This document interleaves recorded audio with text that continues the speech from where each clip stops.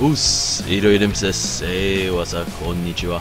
So, in this video, more cool stuff from Tamashii Nation 2019, and we take a look at the mobile, uh, uh, Robot Tamashii Side MS G3 Gei Drei, and uh, it's a Zeon um, mobile armor, and um, but yeah, cool stuff.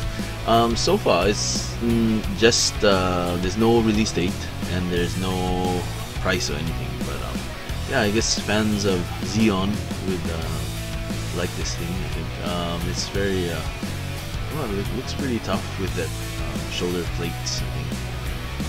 Similar to something I didn't. Uh, the girl in um, Unicorn use something like this, but it also looks like a Qubeley in Zeta Double Zeta Gundam.